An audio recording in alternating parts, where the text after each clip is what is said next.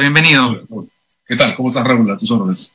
Eh, bueno, lo primero que quería, hemos hablado hace un momento con Mario Eugenia Mome del tema de la libertad de expresión y de la eh, norma que aumenta la pena de prisión hasta cuatro años, lo que podría hacer que un periodista efectivamente vaya a la cárcel por una condena de difamación. Eh, desde el punto de vista del derecho penal, ¿cómo ves esta nueva iniciativa del Congreso que se aprobó este martes? Bueno, creo que representa mucho, ¿no? Digamos, en teoría hay que decirlo, no es verdad que son las penas que pasan de cuatro años puedan ser efectivas.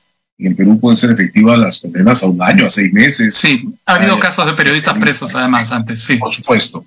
De modo que eh, el tamaño de la pena no es el problema, la cuestión es el sentido de lo que representa la iniciativa de esta ley en el momento en el que se promulga. claramente es una ley que estimula el desarrollo de querellas y que además se concentra en el caso de los delitos cometidos a través de medios de comunicación. Claro, hay que decir que en realidad la reforma no solo aplicaría a periodistas, ¿no? Gente como el alcalde Miraflores, que ha acusado públicamente a un comunicador, a Marcos Cifuentes, de ser un hacker, y lo ha hecho a través de medios de comunicación. Cuando le encerraron le estaba haciendo un favor a la municipalidad de Miraflores. Creo que nunca se enteraron, no entendieron bien lo que había ocurrido. Es un problema de, competencia lectora, ¿no? Lo leyeron de, de sinapsis, sí. sí, lo Pero al final de eso, digamos, esa misma reforma le alcanza, ¿eh? Porque esa acusación presentada a través de medios de comunicación forma un caso de difamación agravada que tendría la condena que representa esa ley. De modo que en realidad no solo hay un mensaje que encuentro perverso respecto a esta suerte de estímulo a atacar a los medios, Vemos que la ley se pronuncia en el momento en que se está anulando la resolución que de una u otra manera absolvió a Llovera en el caso del Sodalicium, en el momento en que está sobreacusando a Paola Ugaz por un caso conexo también del Sodalicium. Eh, además, se presenta además en el momento que están estallando o estuvieron estallando denuncias contra congresistas por apoderarse de parte de los sueldos de trabajadores, después que el Congreso aprobó un bono extraordinario para que los trabajadores reciban dinero nota al pie de página, dejen de denunciar, bueno, y se aprueba esto. Entonces, en realidad, el significado político de la norma es absolutamente regresivo, o sea que creo, Raúl, no nos sorprende. No solo eso, también están estas notificaciones a periodistas como los periodistas del Foco y Gilebran en sus 13 que incluyen amenazas si es que no entregan las pruebas de los delitos, lo que quebranta el secreto, digamos, eh, profesional. Pero además, qué curioso que sea en este momento en el que la fiscal de la Nación está siendo investigada por la prensa por el tema de su tesis, etcétera. Agrega eso que eh, las agrupaciones alrededor de la resistencia, estos colectivos... No, a ellos no los toca nadie. No, por eso, pero están renovando ataques contra medios de comunicación. Entonces, el momento en términos de protección de la libertad de expresión es eh, enormemente importante. Hay un clima de, peligro y de amenaza que es latente, que va a provocar sin duda una ola de nuevos reclamos internacionales y y que probablemente además termine en nada, porque ese tipo de discursos eh, limitadores de derechos básicos, hay que decir, aún que la libertad de expresión, la libertad de información, y eh, la libertad de prensa en general están dentro del escaso núcleo de derechos que se hicieron indiscutibles de la Constitución de 79 y se han soportado embates como de la prensa chicha de los años 90. De modo que esta es un área dura, un área sólida, veo muy poco probable que el Congreso pueda ganar esta pelea que ha iniciado, pero sí veo muy peligroso que la intenten. Sobre todo, déjame decir esto, con una herramienta que pone en evidencia, además, el sentido unilateral en el que entienden la ley. Esa ley la están dirigiendo contra medios de comunicación sin notar que es una ley que también les pone una mordaza a ellos. ¿no? La ley funciona en dos direcciones, nunca una sola. Sí, sí, sí. Pero eso tampoco les importa, ¿no? Bueno, por supuesto, el señor Merino que acusó a Rosa María Palacios, a Augusto Álvarez Rodríguez de vacunarse en secreto, por ejemplo, también habría incurrido en este tipo. Claro, eso es una cosa bien paradójica porque el Congreso, la clase política peruana, sobre todo un sector de nuestra clase política, está lleno de difamadores contumaces. Pero por supuesto, la propia resistencia y los satélites de esa organización difaman cada vez que lanzan comunicados, ¿no? Exacto. Cada vez que, hacen proclamas. Entonces, en, en realidad, creo que no solo esta ley representa, y lo hace, un ataque muy fuerte a la libertad de expresión, prensa, comunicación, información, sino que además pone en evidencia el sentido completamente unilateral con el que el Congreso cree que se entiende la ley. Cree que va en una sola dirección, cree que solo es lo que el Congreso quiere que sea. Y eso también es peligroso. Ah, es un problema de técnica legislativa también, además, ¿eh? o de, comprensión, lectora nuevamente. Del sentido lo justo, sí, también, por supuesto. Ahora, avancemos con otros temas eh, para los que te hemos convocado, que me parece que son muy importantes y están en las primeras planas. Elian Carpe está en Israel, no puede ser extraditada desde Israel, aparentemente tampoco desde Bélgica. Bélgica no tiene la costumbre de extraditar a sus nacionales cuando son solicitados por las justicias extranjeras. ¿Qué pasó en el caso de Elian Karp? ¿Fue un error de la fiscalía el, que le permitió eludir, parece que para siempre, a la justicia y con unos buenos millones de dólares en las cuentas bancarias? Tengo la impresión, Raúl, que todavía no estamos siendo, espero que lo seamos pronto, suficientemente informados sobre el sentido del caso Karp. Las alertas se prendieron, en efecto, cuando los Estados Unidos le devolvieron el pasaporte. Exacto. Primer dato a tener en cuenta. En los procedimientos de extradición ante los Estados Unidos o en los Estados Unidos no intervienen abogados contratados por el Perú. Intervienen en Chile, intervienen en Alemania, intervienen en una serie de países, no en los Estados Unidos. En los Estados Unidos, quien persigue la extradición es un fiscal, mm. un funcionario del Departamento de Estado. De modo que la primera cuestión que no tenemos claro es cuál fue la posición exacta del Departamento de Estado en el momento en que le devolvieron el pasaporte a la señora Carr.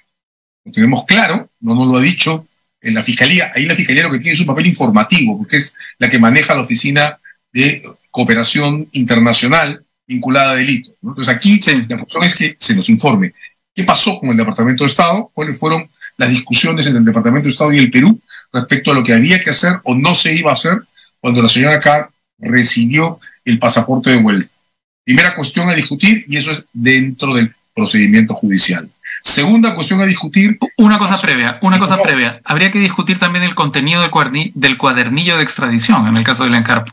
Eh, entiendo que está presentado y los cuadernillos de extradición, Raúl, son copia de los expedientes judiciales, de modo que ahí no es donde creo que está.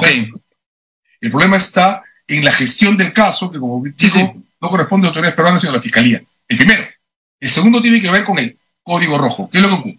Las órdenes de detención emitidas por autoridades peruanas, como de cualquier estado que es parte de los acuerdos de Interpol, se registran en una oficina que se llama en español la Oficina de los Archivos, que está en Lyon, Francia. Esos registros generan lo que se conoce como el código rojo, la alerta internacional sobre el requerimiento de una persona. Y la oficina de Lyon y una serie de procedimientos que permiten a los emplazados hacer suspender las órdenes, incluso anularlas, y que le ponen al, al Estado la carga de renovarlas cada cierto tiempo. Esos procedimientos son muy reservados, pero todos los estados parte de los instrumentos de Interpol tienen acceso a sus contenidos a través de las oficinas nacionales. Entonces, ¿qué pasó? ¿El código rojo estaba vigente o no estaba vigente? Eh, ¿Se renovó o no se renovó? ¿Fue observado por la defensa de Lian o no fue observado. si hubiera estado vigente, si hubiera estado vigente, ¿qué hubiera ocurrido? ¿No se le hubiera permitido subir al avión? La discusión pasa ahí al tercer componente de esto, la política de migraciones de los Estados Unidos. Porque quien hace las alertas cuando una persona quiere pasar la frontera de un país, la frontera externa de la zona internacional de los aeropuertos, es la oficina de migración de cada país. Entonces, no sabemos si el código estaba vigente, porque si estaba vigente, entonces, ¿qué pasó en la Oficina de Migraciones de los Estados Unidos? Mm. Si no estaba vigente, ¿cuándo se registró la suspensión? ¿Qué pasó con la renovación? ¿Y qué hicieron ahí sí las autoridades peruanas respecto a la suspensión del Código Rojo? Son por lo menos, como ves, tres cuestiones sobre las que no tenemos información. La mm. actitud de eh, las fiscalías americanas cuando se devolvió el pasaporte o su reacción, la situación del Código Rojo Interpol y según estas dos condiciones, qué ocurrió en migraciones de los Estados Unidos para que CAR pudiera pasar a eh, la zona internacional de ese aeropuerto. Por lo que me estás diciendo entonces, no se trataría de negligencia, torpeza o error del Ministerio Público peruano en este caso. Mira, la única posibilidad de un error peruano en caso de este tipo en los Estados Unidos sería que no se hubiera renovado la orden de detención internacional que genera el código rojo de Interpol, o que nos hayamos enterado que CAR hubiera obtenido una suspensión o una cancelación del registro y no hayamos hecho nada a tiempo ante la oficina de Lyon. Ok, o sea, no tiene que ver con el fondo del caso. Eso es una cosa muy importante. con la vigencia de la detención que emitieron los jueces peruanos. De acuerdo. Ahora, mm, digamos, el futuro de Elian Carp eh, es un futuro soleado en las playas de Israel. Eh, eh, digamos, existe la posibilidad de que en algún momento vuelva al Perú por la vía de la extradición o tendría que cometer un error a lo Alberto Fujimori. Yo creo que tendría que cometer un error Alberto Fujimori, porque como todos los especialistas que han estado declarando en esos tiempos han confirmado, nuestra información es la misma, Israel no tiene una ejecutoria consolidada de extradición de nacionales. Es un Estado fuertemente protectivo, se entiende la condición de su historia porque lo es, y eh, los casos que se han registrado de ciudadanos israelíes extraditados son mínimos, demasiado pocos como para poder confiar en que un procedimiento de extradición en Israel pueda tener éxito en el futuro. Mm. Vamos a otro tema que me parece importante, que es el tema que involucra nuevamente al Congreso, que lo que está queriendo hacer ahora es que eh, se pueda abrir ante juicio, juicio, juicio político a las autoridades del sistema electoral peruano. El Jurado Nacional de Elecciones, la OMP, la RENIEC. Se quiere que estas autoridades enfrenten lo que se llama el control político.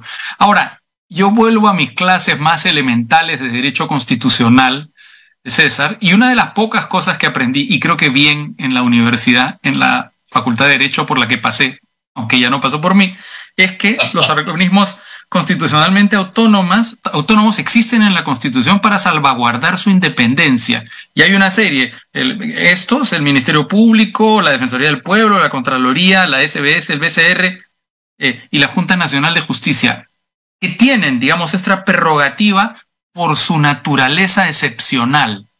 Eh, esto es atentar contra, digamos, la teoría constitucional más básica, me parece. O no sé si estoy en, equivocado dos detalles que hay que mirar, ¿no? Primero que el 93 suprimieron al Senado y el factor de estabilidad teórica de las decisiones políticas del Congreso está en la bicameralidad. Primera cuestión que hay que observar. La segunda, sobre todo en un Congreso unicameral, las nominaciones, designaciones y designaciones de los congresistas, por, que es parte del sentido de la fórmula electoral, dependen del sistema electoral. Pues, Entonces, la autonomía del sistema electoral respecto al Congreso es una autonomía reforzada. Como es reforzada la autonomía del Tribunal Constitucional. Y si a alguien le quedan dudas, pues hay que mirar la sentencia de la Corte Interamericana de Derechos Humanos sobre la destitución de jueces constitucionales de los años 90. Y la regla es muy simple. Digamos, parece ser la regla preferida para ser desestimada por este Congreso. El controlado no puede ser controlador de su árbitro. O usando la caricatura que ha publicado el día de hoy Carlín, es como si los jugadores que pierden un partido, expulsaran al partido, expulsaran al árbitro. Exactamente. Exactamente así. Y además la caricatura de Carlín es doblemente expresiva porque este es el Congreso que instaló la narrativa sobre el fraude en mesa y que promovió la acusación eh, eh, al presidente del jurado y de la OMP de haber encubierto un fraude que jamás se ha ni siquiera indicado que realmente exista. Entonces, puede hacer eso, pretender tener una mesa para juzgar a, quienes dirigen la OMP, el jurado y de, por conexión la RENIE, es absolutamente arbitrario. Segundo detalle, eh, Raúl, además de la estructura de la Constitución del 93 que no tiene Senado, y por tanto no tiene balance para contener decisiones políticas. Nuestro juicio político, a diferencia del impeachment americano, no solo se refiere a delitos, se refiere a delitos y a responsabilidades políticas que no son controlables ni en el Tribunal Constitucional, ni en la Corte Suprema, ni en el jurado de elecciones, porque no son entes políticos en el sentido agregativo, sino que son, son técnicos son Entonces, además no tiene sentido. Solo tendría sentido, voy a usar comillas, que se hubiera discutido un antejuicio respecto al jurado de elecciones. Pero ni el jurado, ni la OMP, ni la RENIEC tienen derecho a antejuicio porque su persecución está entregada a otro órgano que es controlable de otra manera que la Fiscalía de la Nación. es el Ministerio Público. Entonces, en realidad esto es un despropósito y claro, desde mi punto de vista es el capítulo 2, el caso del fraude en mesa. Perdieron ante la Fiscalía, no pudieron ganar nada, quienes diseñaron muy mal desde el punto de vista de la organización de un caso, esa narrativa sobre el fraude en mesa, y ahora, claro, intentan una cosa camuflada bajo la, la horizontalidad, todos los poderes públicos deben tener controles políticos, mentira, y eh, desarrollan esta iniciativa. Pero ahí, ahí digamos, ahí César, ¿por qué el Tribunal Constitucional es cómplice de esta iniciativa? El Tribunal Constitucional les ha dado la razón. Esa es una enorme gran pregunta. Les ha dado la razón respecto a los amparos en el judicial y eso es algo que el tribunal no debió hacer. Sí, bueno, eso es rompe el equilibrio de poderes, por cierto, el, check, and, el check and balances. Uno rompe, no solo rompe el check and balance, sino que pone al tribunal por debajo del Congreso, ¿no? Porque los casos en los que se intrometió para decir que el judicial no debía intervenir son casos que le debían llegar en el futuro al tribunal. Se anticipó y pateó la mesa, ¿no? Sí. Bueno, eso, eso es muy fuerte. De hecho, eh, recuerda sin duda, Raúl, que hubo muchas discusiones sobre el procedimiento de elección a los jueces. Discusiones que se multiplicaron en su dureza cuando quedó en evidencia que el Congreso ni siquiera quería nombrar a Manuel Monteagudo, que es uno de los más calificados de la lista, y que entró solo porque la presión respecto al modo de excluirlo fue sumamente intensa, y es ahora el juez disidente de ese tribunal, ¿verdad? Pero cuando se le designó, por ejemplo, alguien como Eloy Espinosa, dijo públicamente que él confiaba que los designados tengan en cuenta y tengan claro que un juez no es juez por las condiciones en las que es elegido, sino por su capacidad de desvincularse de ellas y convertirse en, ah, usemos la frase clásica de Montesquieu, en la boca de la ley, en este caso en la boca de la Constitución. Creo que a eso este tribunal, la mayoría de ese tribunal, ha por desgracia abdicado. No, no, denigran, denigran la condición de magistrado del Tribunal Constitucional. a diferencia, por ejemplo, de lo que ocurre en la Corte Suprema de los Estados Unidos. Entrar a ser un magistrado de la Corte Suprema de los Estados Unidos es, es, increíble, pero te deslinda del poder político. Puede ser conservador o liberal en los términos norteamericanos. Pero Raúl, que en términos históricos la Corte Suprema en los Estados Unidos se instaló originalmente en el mismo edificio que el Congreso y ella misma pidió un edificio distinto para separarse del Congreso. Aquí es como mm. si el tribunal se hubiera instalado en una sala del Parlamento y eso no es admisible. No, no, por supuesto, no es admisible y es, eh, además, eh, se produce una situación lamentable, ¿no?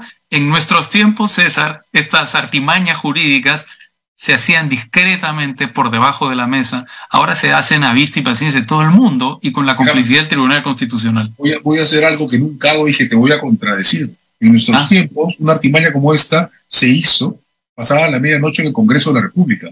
Destituyeron a tres magistrados del Tribunal Constitucional. ¿Y, qué pasó?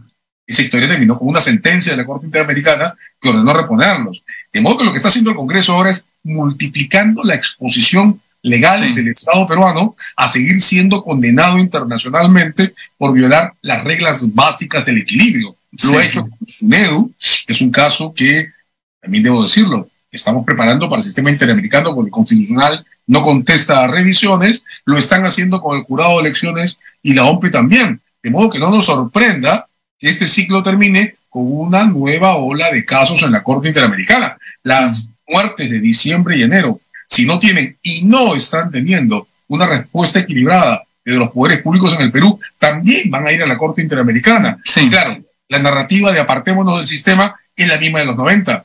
Por supuesto, idéntica.